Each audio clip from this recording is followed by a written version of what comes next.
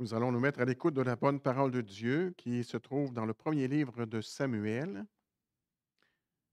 C'est un texte assez long que je vais vous lire, mais c'est une, histoire très belle et vraiment passionnante. Donc, euh, le chapitre 1 et la première partie du chapitre 2 jusqu'au verset 11, à la page 278 de l'Ancien Testament. Premier livre de Samuel, chapitre 1. Le texte euh, pour la prédication sera le chapitre 2, versets 1 à 10, ce qu'on appelle habituellement le cantique, d'Anne ou la prière d'Anne.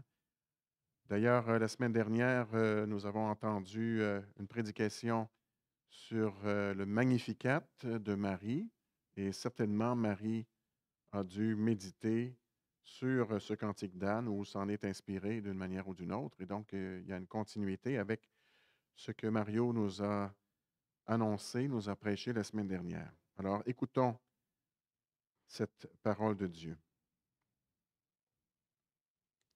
Il y avait un homme de Ramathaïm Tsophim, de la montagne d'Éphraïm, nommé Elkana, fils de Jéroam, fils d'Eliou, fils de Tohu, fils de Tsouf, Éphratien. Il avait deux femmes. Le nom de l'une était Anne et le nom de la deuxième, Penina. Penina avait des enfants, mais Anne n'avait point d'enfants. Chaque année, cet homme montait de sa ville à Silo pour se prosterner devant l'Éternel des armées et pour lui offrir des sacrifices. Là se trouvaient les deux fils d'Élie, Ophni et Phinehas, sacrificateurs de l'Éternel. Le jour où Elkanah offrait son sacrifice, il donnait des parts à sa femme Penina, ainsi qu'à tous ses fils et à toutes ses filles. Mais il donnait à Anne une part double, car il aimait Anne que l'Éternel avait rendue stérile. Sa rivale ne cessait pas de lui causer du chagrin pour qu'elle se révolte, parce que l'Éternel l'avait rendue stérile. Toutes les années, il en était ainsi. Chaque fois qu'Anne montait à la maison de l'Éternel, Penina lui causait du chagrin de la même manière. Alors elle pleurait et ne mangeait pas. Elkanah, son mari, lui dit Anne, pourquoi pleures-tu et ne manges-tu pas? Pourquoi ton cœur est-il attristé? Est-ce que je ne vaux pas pour toi mieux que dix fils Anne se leva après que l'on eut mangé et bu à Silo. Le sacrificateur Élie était assis sur un siège près du montant de la porte du temple de l'Éternel. Et l'amertume dans l'âme, elle pria l'Éternel et pleura beaucoup. Elle fit un vœu et dit Éternel des armées, si ton regard s'arrête sur l'humiliation de ta servante, si tu te souviens de moi et n'oublie pas ta servante, et si tu donnes un garçon à ta servante, je le donnerai à l'Éternel pour tous les jours de sa vie, et le rasoir ne passera pas sur sa tête. Comme elle multipliait ses prières devant l'Éternel, Élie observa sa bouche. Anne parlait dans son cœur, seules ses lèvres remuaient, mais l'on n'entendait pas sa voix. Élie pensa qu'elle était ivre. Il lui dit, Jusqu'à quand seras-tu dans l'ivresse? Fais passer ton vin. Anne répondit, Non, mon Seigneur, je, ne suis, je suis une femme à l'esprit affligé, et je n'ai bu ni vin ni liqueur forte, mais j'ai penché mon âme devant l'Éternel. Ne prends pas ta servante pour une femme de rien, car c'est l'excès de ma douleur et de mon chagrin qui m'a fait parler jusqu'à présent. Élie reprit la parole et dit, Va en paix, et que le Dieu d'Israël te donne ce que tu lui as demandé. Elle dit que ta servante obtienne ta faveur, et cette femme poursuivit sa route. Elle mangea et son visage ne fut plus le même. Ils se levèrent de bon matin et, après s'être prosternés devant l'Éternel, s'en retournèrent et revinrent dans leur maison à Rama. Elkanah connut sa femme Anne, et l'Éternel se souvint d'elle. Dans le cours de l'année, Anne devint enceinte. Elle accoucha d'un fils qu'elle appela du nom de Samuel, car, dit-elle, je l'ai demandé à l'Éternel. Le mari Elkanah monta ensuite avec toute sa famille pour offrir à l'Éternel le sacrifice annuel et pour accomplir son vœu. Mais Anne ne monta pas, car elle dit à son mari, Lorsque le garçon sera sevré, je le mènerai afin qu'il soit présenté devant l'Éternel et qu'il reste là pour toujours. Elkanah, son mari, lui dit, Fais ce qui te semblera bon, reste ici jusqu'à ce que tu l'aies sevré. Que l'Éternel accomplisse seulement sa parole. Et la femme resta. Elle allaita son fils jusqu'à ce qu'elle l'eût sevré. Quand elle l'eut sevré, elle le fit monter avec elle et prit trois taureaux, un épha de farine et une outre de vin. Elle le mena dans la maison de l'Éternel à Silo. Le garçon était encore tout jeune. Ils égorgèrent le taureau et conduisirent le garçon à Élie. Anne dit, Pardon, mon Seigneur, aussi vrai que tu es vivant, je suis cette femme qui se trouvait placée ici près de toi pour prier l'Éternel. C'était en vue de ce garçon que je priais, et l'Éternel m'a donné ce que je lui demandais. Aussi, moi, je veux le prêter à l'Éternel. Il sera toute sa vie prêté à l'Éternel. Et ils se prosternèrent là devant l'Éternel. Et voici notre texte. Anne pria et dit, Mon âme exulte en l'Éternel, ma force s'est élevée par l'Éternel, ma bouche s'est ouverte contre mes ennemis, car je me réjouis de ton salut. Nul n'est saint comme l'Éternel, il n'y a point d'autre que toi, il n'y a point de rocher comme notre Dieu. Ne multipliez pas vos paroles sans cesse plus arrogantes, que l'audace ne sorte pas de votre bouche, car l'Éternel est un Dieu qui connaît tout, et par lui sont pesés tous les agissements. L'arc des héros est brisé, et ceux qui trébuchaient ont la vaillance pour ceinture. Ceux qui étaient rassasiés cherchent un gagne-pain, mais ceux qui étaient affamés ont du répit. Même la femme stérile enfante sept fois, mais celle qui avait beaucoup de fils est flétrie. L'Éternel fait mourir et il fait vivre. Il fait descendre au séjour des morts et il en fait remonter. L'Éternel appauvrit et il enrichit, il abaisse et il élève. De la poussière, il redresse l'indigent, du fumier, il relève le pauvre, pour les faire siéger avec les notables. Et il leur donne en héritage un trône de gloire. Car à l'Éternel sont les colonnes de la terre, et c'est sur elles qu'il a posé le monde. Il gardera les pas de ses fidèles mais les méchants se perdront dans les ténèbres, car l'homme ne triomphera point par la force. Ceux qui contestent avec l'Éternel seront terrifiés. Contre eux, dans les cieux, il tonnera. L'Éternel jugera les extrémités de la terre. Il donnera la puissance à son roi et relèvera la force de son Messie.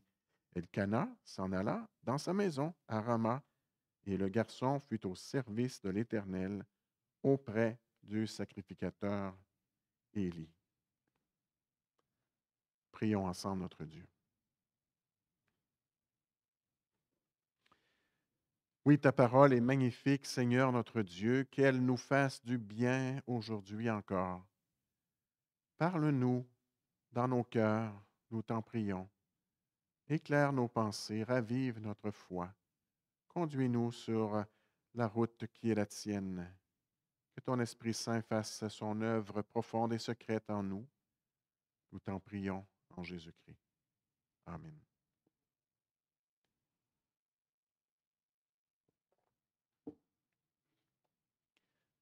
Bien-aimés du Seigneur, cette histoire d'Anne commence par des pleurs et finit dans une grande joie, dans l'allégresse.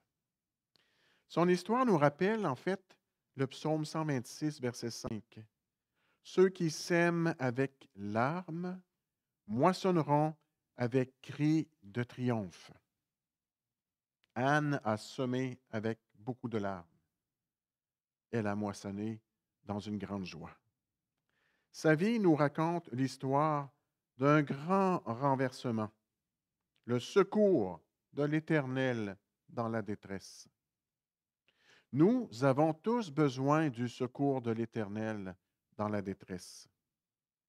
Certains sont prisonniers de l'alcool, peut-être même sans vouloir le reconnaître. D'autres ont des problèmes financiers. D'autres sont déchirés par des conflits conjugaux ou d'autres conflits au travail. Nous prenons de mauvaises décisions. Nous commettons des fautes que nous regrettons. Nous luttons tous avec le péché qui vient salir nos cœurs et gâcher nos vies d'une manière ou d'une autre. Si au moins nous pouvions renverser les choses et tout recommencer, L'histoire d'Anne nous raconte un grand renversement. Sa prière nous raconte sa délivrance personnelle, mais aussi la délivrance de toute l'Église, l'espérance d'une délivrance à venir. Et voilà pourquoi elle s'exclame au début de cette prière, Mon cœur exulte en l'Éternel.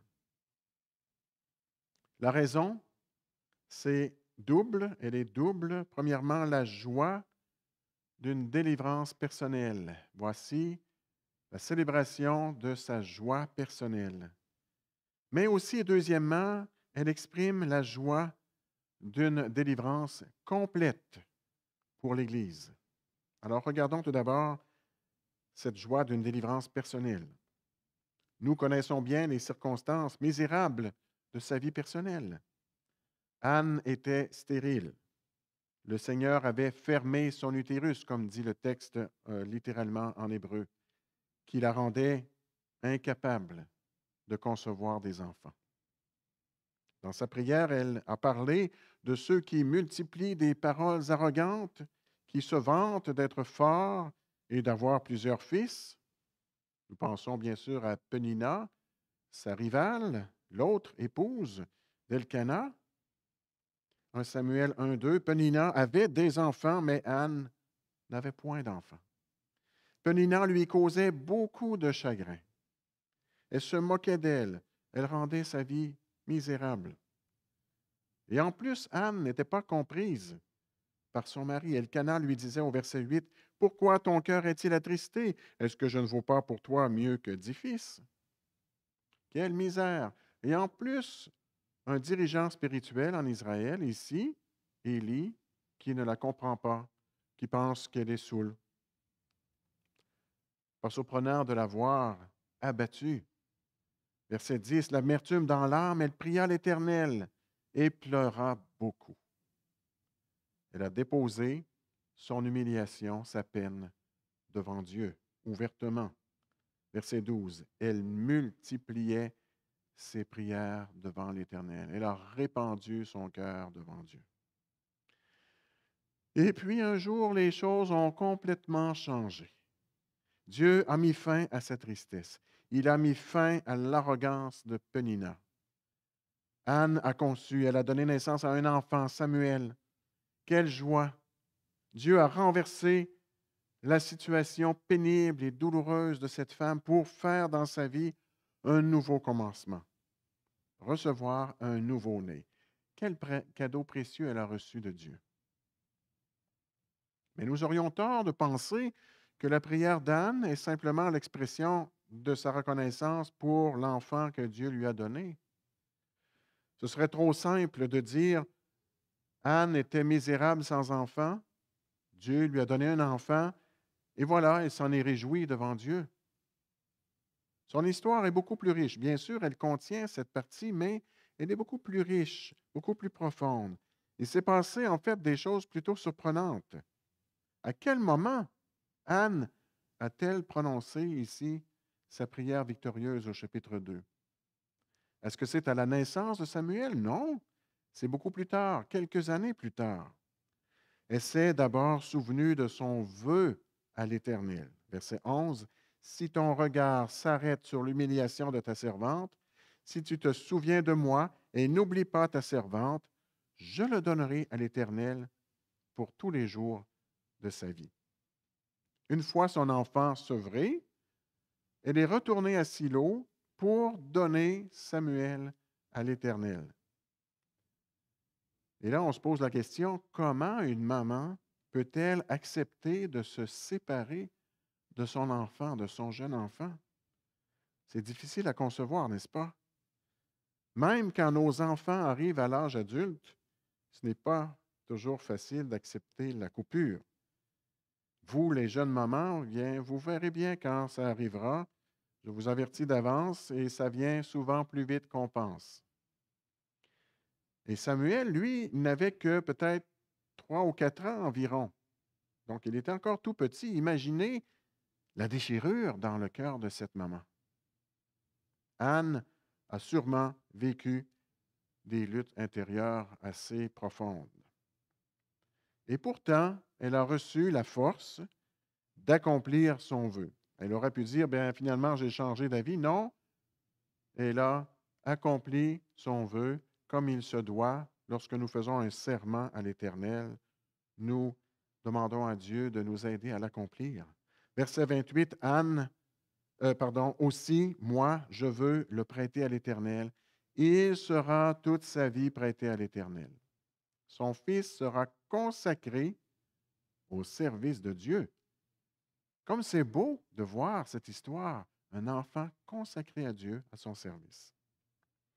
Elle a compris que son enfant serait un instrument entre les mains de Dieu au service de son royaume. Elle n'avait pas seulement le désir d'avoir un enfant pour elle, elle cherchait d'abord le royaume de Dieu et sa justice, plutôt que son épanouissement personnel, plutôt que sa satisfaction d'avoir un enfant et d'être une maman. Quel grand renversement Dieu a opéré, non seulement dans son utérus, non seulement pour avoir un enfant, mais encore dans son cœur. Le Seigneur a changé un cœur pécheur, égoïste par nature, en un cœur qui aime Dieu, qui veut le servir et qui veut s'offrir en sacrifice. N'est-ce pas que c'est beau? N'est-ce pas que c'est une belle histoire? La naissance de Samuel a sûrement rendu cette femme très heureuse, bien sûr, mais la consécration de cet enfant à l'Éternel l'a vraiment comblé. Nous aussi, soyons joyeux et reconnaissants, oui, pour les dons que Dieu nous fait, mais plus encore, réjouissons-nous de pouvoir consacrer ces dons au service de Dieu. Consacrer nos talents, nos vies, tout ce que Dieu nous prête, que ça retourne à notre Dieu comme un sacrifice vivant et de bonne odeur à son service. Puissions-nous nous offrir tout entier, nous, nos enfants, nos talents, notre temps, au service du royaume de Dieu et de sa justice. Voilà le contexte de sa prière victorieuse qui commence au chapitre 2, verset 1. Mon cœur exulte en l'Éternel. Exulter veut dire se réjouir énormément. Anne parle de son expérience personnelle. Elle exprime sa grande joie, une joie qu'elle trouve non pas tant en son enfant comme en l'Éternel lui-même. Souvent, nous prions, Merci Seigneur, je suis heureux, béni des cadeaux que tu me fais, de m'avoir accordé telle ou telle chose pour laquelle je t'ai demandé depuis longtemps. Nous nous réjouissons du don, et c'est bon. Anne va plus loin. Elle se réjouit du donateur. Mon cœur se réjouit non pas en mon enfant, c'est pas ce qu'elle dit, mon cœur se réjouit en mon enfant, non. Mon cœur se réjouit en l'Éternel. Vous arrive-t-il d'être abattu ou déprimé, d'être dans la tristesse profonde, dans l'humiliation? Dieu est puissant pour nous secourir, pour renverser la situation. Puissions-nous alors nous réjouir non pas seulement des dons qu'il nous fait, du renversement qu'il accomplit, mais avant tout nous réjouir en l'Éternel lui-même, celui qui accomplit ce renversement. Anne s'est réjouie dans le Seigneur, ce qui l'a rendu capable de lui redonner cet enfant qu'elle avait pourtant tellement désiré. D'où lui venait cette force de donner son enfant? Verset 1. Ma force s'est élevée par l'Éternel. Elle était faible, Dieu l'a rendue forte. Elle était abattue, Dieu l'a rendue capable de triompher de ses ennemis et de servir pour le royaume de Dieu. Ma bouche s'est ouverte contre mes ennemis, dit-elle. Pourquoi? Verset 1, elle dit, Car je me réjouis de ton salut. Anne a médité sur la délivrance que Dieu lui a donnée. Impossible alors de ne pas louer Dieu, de ne pas se réjouir en Dieu. Magnifique prière d'adoration. Verset 2. Nul n'est saint comme l'Éternel. Il n'y a point d'autre que toi. Il n'y a point de rocher comme notre Dieu. Où trouver refuge? En Dieu seul. Pourquoi? Parce que personne n'est comme lui. Anne a réfléchi, elle a médité sur les attributs de Dieu. Il est saint, il est le seul Dieu, il connaît tout. Verset 3. Ne multipliez pas vos paroles sans cesse plus arrogantes. Pourquoi? Car l'Éternel est un Dieu qui connaît tout. Et par lui sont pesés tous les agissements. Penina, orgueilleuse et méprisante, s'était vantée d'avoir des enfants. Mais l'Éternel est un Dieu qui connaît tout.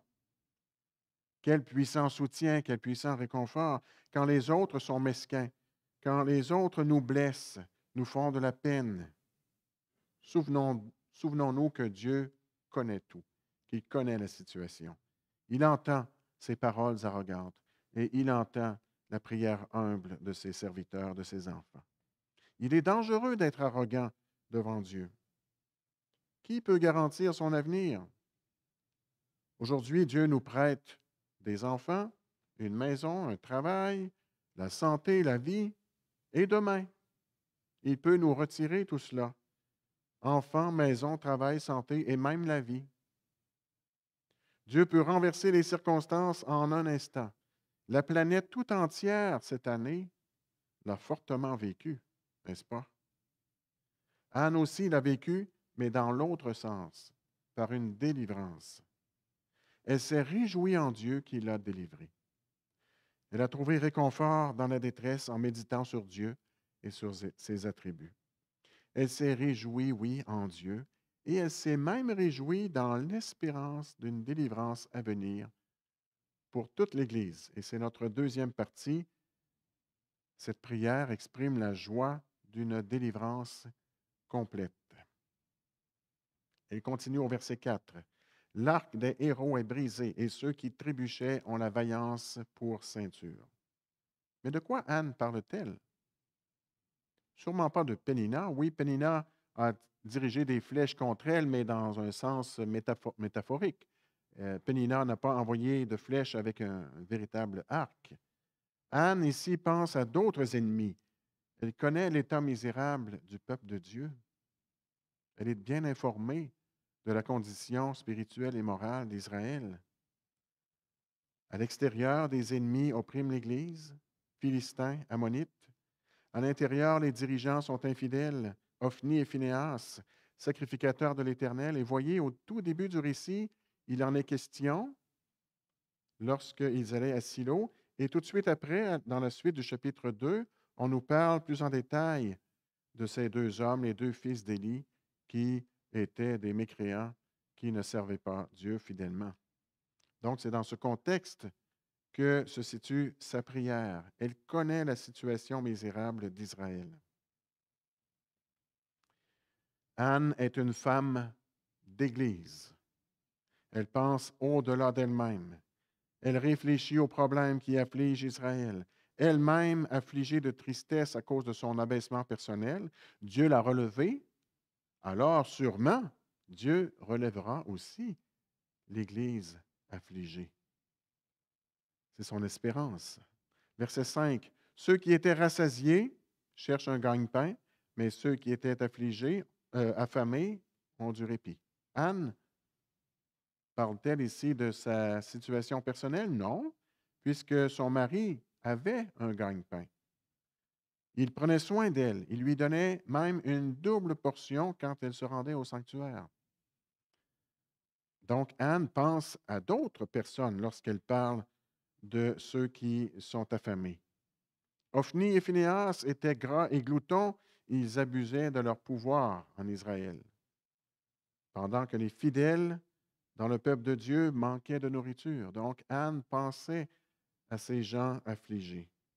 Un jour, Dieu renversera les choses pour eux. Verset 5 encore. Même la femme stérile enfante sept fois, mais celle qui avait beaucoup de fils est flétrie. Bien sûr, la femme stérile euh, fait penser à Anne, mais pourtant, Anne, plus tard, aura cinq autres fils, mais euh, au moment où elle prononce sa, prière, elle n'a pas sept fils, elle n'en aura jamais sept. Le nombre sept, nous savons, est un nombre symbolique. Donc, Anne ici exprime le fait qu'elle est pleinement comblée, mais aussi que Dieu comblera son peuple. Elle annonce le royaume de Dieu où plus rien ne sera pareil. Les forts et les faibles, les rassasiés, les affamés, les fertiles et les stériles, tout ça va changer, tout sera renversé. Dieu produira tous ces changements.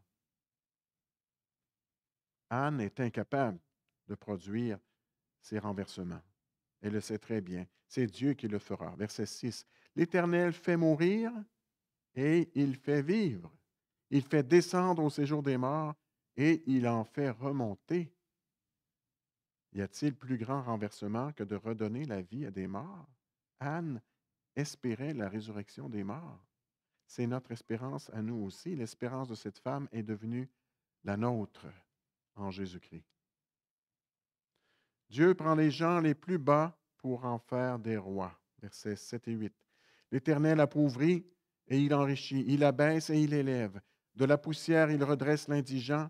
Du fumier, il relève le pauvre pour les faire siéger avec les notables et il leur donne en héritage un trône de gloire. Anne, ici, parle de nous, en quelque sorte. Elle voit venir de grandes choses pour la suite de l'histoire. Elle espère de grands changements, pas seulement pour elle-même, mais à grande échelle. Les orgueilleux seront abaissés. Même la mort sera renversée. Les fidèles seront redressés. Les humbles seront élevés. Ils reviendront même à la vie. Anne espère une délivrance complète. C'est magnifique. Comment Dieu peut-il faire tout cela? Comment pouvons-nous avoir, nous aussi, cette espérance? Parce qu'il est le Créateur. Verset 8. Car à l'Éternel sont les colonnes de la terre, et c'est sur elles qu'il a posé le monde. C'est Dieu qui a créé le monde, c'est Dieu qui donne au monde sa stabilité. Alors il est sûrement capable de faire de grandes choses. Anne reconnaît son impuissance, elle confesse sa faiblesse personnelle, incapable d'accomplir ses renversements, et n'a aucun pouvoir sur elle-même, sur son utérus, encore moins sur le monde entier et toutes les misères de ce monde. Elle se tourne vers l'Éternel, qui donne la vie et qui prend soin de son peuple. Nos prières sont-elles à l'image de sa prière? Reconnaissons-nous notre impuissance Célébrons-nous la puissance de Dieu et la grâce de Dieu? Oui, réjouissons-nous car Dieu est capable de faire de grandes choses, de grands renversements pour nous et pour toute son Église. Mais qu'est-ce qui nous permet de compter sur l'action toute spéciale de Dieu? C'est sa fidélité à son alliance et à ses promesses.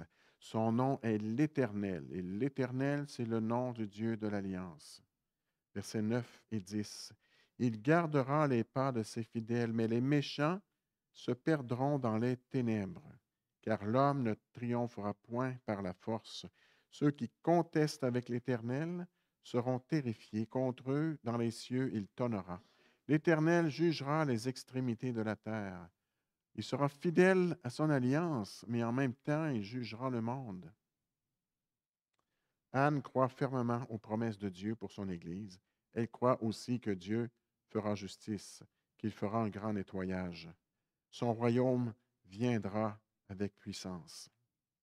Dieu prendra soin de tous les siens et demandera des comptes à tous les hommes.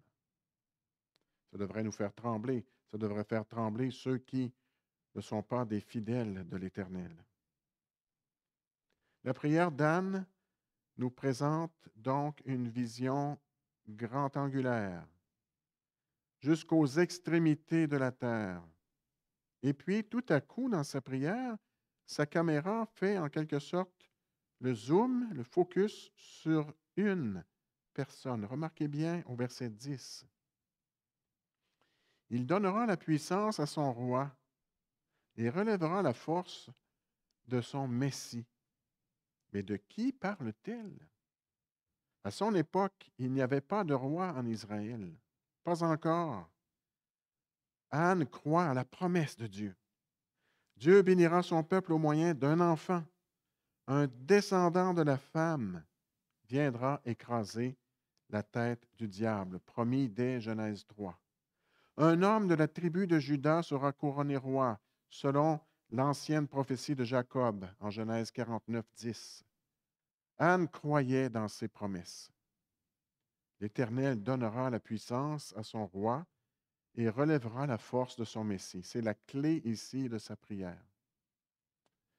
Anne avait-elle conscience que son enfant était choisi par Dieu pour renverser les choses en Israël? Elle vient de prêter son enfant à l'Éternel. Samuel, Samuel qui grandira et plus tard qui prononcera un jugement contre Ophni et Phinéas, les sacrificateurs infidèles. Dieu commencera à vaincre ses ennemis. Samuel donnera l'onction à Saül, qui vaincra d'autres ennemis. Et Samuel jugera ensuite le roi Saül, devenu infidèle. Samuel donnera l'onction au roi David, qui vaincra d'autres ennemis encore. Oui, vraiment, l'Éternel donnera la puissance à son roi et relèvera la force de son Messie, celui qui sera oint pour être roi. Les Philistins seront battus. L'orgueilleux Goliath sera abaissé. Les humbles seront relevés en Israël. La situation misérable de l'époque des juges sera complètement renversée. Oui, l'enfant Samuel sera un instrument choisi par Dieu pour renverser, contribuer à renverser les choses. La prière d'Anne est un levier, en quelque sorte, un levier puissant qui aura de grandes répercussions dans l'histoire d'Israël. Mais ce n'est pas tout. Anne a vu encore beaucoup plus loin. Mille ans plus tard, Marie reprendra les paroles de cette prière dans sa propre louange de l'Éternel que nous avons entendu la semaine dernière, donc dans Luc chapitre 1. Marie appliquera ce cantique d'Anne à sa vie personnelle à elle. Elle vivra des tiraillements profonds elle aussi. En fait, son épreuve sera complètement l'inverse de l'épreuve de Anne. Anne était mariée pendant des années sans avoir d'enfant. Marie deviendra enceinte sans être mariée. Et pour elle aussi, ce sera une épreuve, mais dans un sens complètement différent. Et pourtant, Marie exprimera elle aussi sa joie pour sa délivrance. Luc 1, 46. Mon âme exalte le Seigneur et mon esprit a de l'allégresse en Dieu, mon Sauveur. L'enfant qu'elle portera, Marie, sauvera Marie de ses péchés personnels. Elle l'appelle mon Sauveur. Mais plus encore, il sera le Sauveur de toute l'Église. Marie exprimera, elle aussi, sa joie pour la délivrance de toute l'Église. Luc 1, 54, 55. Il a secouru Israël, son serviteur, et s'est souvenu de sa miséricorde envers Abraham, et sa descendance pour toujours. Oui, Dieu est venu renverser les choses en la personne de son Fils Jésus-Christ, d'une manière plus complète, plus grande, plus globale que jamais auparavant. Le Père a bien voulu donner son Fils, comme Anne qui a donné son Fils. Le Père a consacré son Fils au service du royaume. Le Père n'a pas épargné son propre Fils unique, mais l'a offert en sacrifice par amour pour nous. Et cette fois-ci, le renversement est complet. L'Éternel, oui, donnera la puissance à son roi et relèvera la force de son Messie. Jésus-Christ est venu accomplir un nouveau commencement, une fois pour toutes. Il a vécu la vie que nous devions vivre sans jamais pécher. Il a subi la mort que nous devions subir. Il a pris sur lui nos problèmes, nos maladies, nos tensions, nos mauvaises décisions, nos péchés. Il a abaissé le diable orgueilleux et arrogant. Il a renversé les pires ennemis de Dieu et de son Église. Il a payé pour tous nos péchés, une fois pour toutes. Il nous a mérité sa justice. Il est revenu de la mort à la vie. Quel renversement de situation. Alors, le Seigneur Jésus est l'accomplissement de la prière d'Anne. C'est remarquable. Sa prière est un levier puissant qui produit des effets encore aujourd'hui. Cette prière ancienne est pour nous encore aujourd'hui. Nous étions morts, il nous a rendus à la vie. Nous étions ennemis de Dieu, il nous a réconciliés avec lui. Nous sommes faibles, il nous rend. Nous pleurons, il nous donne la joie. Nous sommes dans un monde en souffrance. Il nous donne une espérance vivante. L'histoire d'Anne a commencé par des pleurs pour finir dans l'allégresse. Et c'est notre histoire à nous aussi. Sa prière nous annonce l'évangile des grands renversements. Chers frères et sœurs, chaque jour nous luttons encore et nous tombons. Chaque jour, Dieu nous promet son pardon en Jésus-Christ. Chaque jour, il nous promet sa force nouvelle par son Esprit Saint. Chaque jour, il nous donne un nouveau commencement. Ne comptons pas sur nos propres forces. Ne soyons pas orgueilleux ni arrogants. Restons humbles. Dépendons de sa force. Consacrons nos vies à son service, nous, nos enfants, nos talents. Dieu fera encore de grandes choses pour nous et pour toute son Église. Réjouissons-nous en lui, ceux qui s'aiment avec larmes moissonneront avec cris de triomphe. Mon cœur exulte en l'Éternel. Amen.